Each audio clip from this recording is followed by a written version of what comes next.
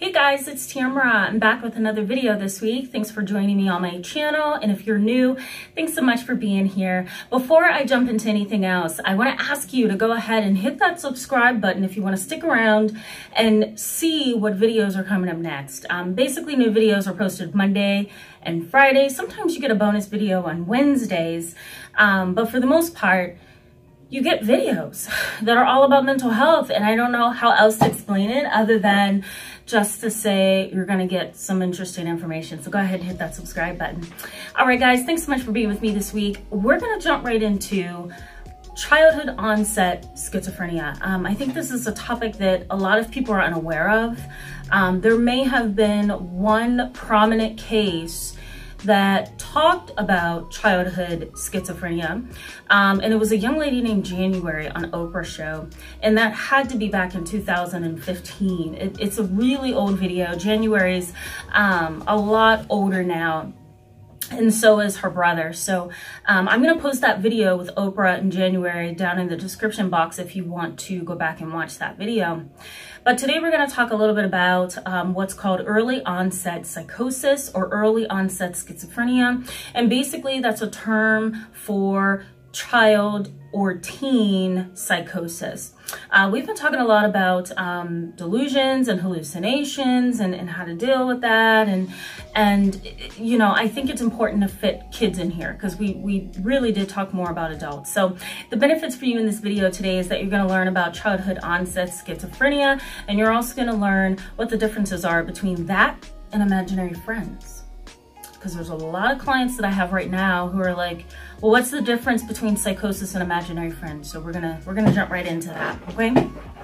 So let me give you a definition of what childhood onset schizophrenia is. Childhood onset schizophrenia is the development before the age of 12 of psychotic symptoms. That can be both delusions or hallucinations. I'm going to also post the video in the description box below that I did last week about delusions so that you can catch up using that video as well if you haven't watched it. But delusions are false beliefs held to be true despite evidence to the contrary. It's like a strong conviction. Um, it's a strong and unmoving or unmoved assumption, belief. It is so ingrained that it's hard to move it, even with evidence. Um, other psychotic symptoms, hallucinations, those are all sensory experiences. So hearing things that aren't there, seeing things that aren't there. I'm going to give you the video link to that video that I did on hallucinations. There is tactile hallucinations, gustatory, um, there's olfactory hallucinations. And so kids typically experience uh, both delusions and hallucinations before the age of 12 when they are showing signs of early onset psychosis. Now, what has to be a necessity for the diagnosis to occur is the hallucinations and delusions. We cannot make a we cannot make a diagnosis before the age of of 18 without seeing a child who demonstrates both delusions and hallucinations. We have to have those two. We also have to see what's called negative symptoms. So we have to see things like depressed affect and mood. Affect is basically your face, how you present to the world.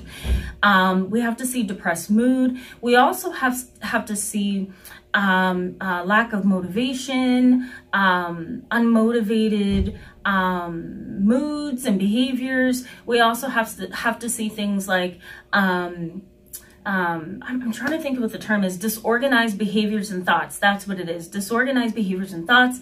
Um, we have to we have to see those things. Now, when I say disorganized, I'm going to post the, the definition over here for you.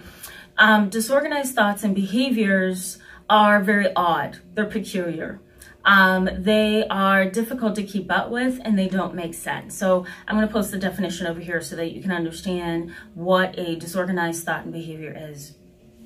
So we have to see these things in order to make a diagnosis of early onset psychosis. How do you know that a child is psychotic and they are not just displaying symptoms indicative of a psychotic disorder when in fact they're actually just kids with a, a major imagination? That's the hard part. Um, the child is going to have to show a constellation of symptoms and behaviors. We can't just make the diagnosis based on the fact that a kid says they see and hear things and they believe that it's there.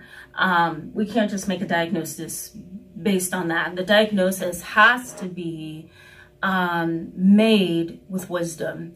And so, you know, it, it, schizophrenia is a very stigmatizing diagnosis, and to place it on children really does stigmatize their overall development. So, we have to be careful in how we diagnose uh, psychosis among children. Um, so, imaginary friends, what's normal, what's not normal? How do we know that it's not psychosis? Well, um, children who have an imagination can sometimes um, extend that imagination uh, far beyond what is typical. And sometimes it can frighten parents because they don't know what to think, right? Everything that child does is imaginative, it's creative. And so it kind of sends red flags and alarm bells for many parents who are unsure what they're looking at, right? For parents who have kids who have imaginary friends, um, all the way up until adolescence are even more terrified uh, because they don't know um, they don't know what's going on. Why would someone 12 and older want an imaginary friend? Um, so let me give you some ideas as to what um, happens with these types of cases. Uh, most psychologists um, like to err on the side of caution. So they don't diagnose psychosis right then and there. They when a parent comes in and says, hey, my kid's psychotic, they really do try to wait it out, run tests, um, observe behavior, um, implement therapy, implement a crisis team, implement a treatment team, um, just to make sure that other things are not being overlooked, such as an autism spectrum disorder, such as um, a strong personality with attention seeking features. Um, we try to rule out oppositional defiant disorder because sometimes kids do things just to get on everybody else's nerves. Um, uh, we try to rule out uh, parenting styles? You know, is the parenting style causing this this issue here? And if so, then we need to get in and we need to work with the family. It's not psychosis. Um, so psychologists try to rule out things before the diagnosis of early onset psychosis or schizophrenia is made. Children who have a, a creative and um, robust imagination can accidentally be identified as psychotic, especially by family and friends. And so it's important to find a specialist and find somebody who can work with the child. Another thing that's often misinterpreted to be psychosis is symptoms as a result of trauma. Kids who have been traumatized, kids who have been abused, ne neglected, um, molested, um, kids who have experienced traumatic bonding, they also can show symptoms that can appear psychotic but, but are not psychotic in nature. Um, kids who have been traumatized may also um, develop imaginary friends to fill an empty void. They may also develop imaginary friends as company. Um, kids who are bullied and have low social skills or poor social skills also may develop imaginary friends or um, symptoms and peculiar, peculiar, excuse me, peculiar. I can't speak today. Peculiar. Okay, I know somebody's to comment in the comment section and be like, really, Tamara? Um, you need some rest, girl. Um, but yes, these kind of kids do show um, odd and peculiar behaviors. And um, these kind of kids are not psychotic. They might just need a lot of help. So we're going to continue this conversation. I don't want to make this video too long, but we're going to continue this conversation as we look at family dynamics because this week we're going to start talking about family mental health. And I think that's an important topic.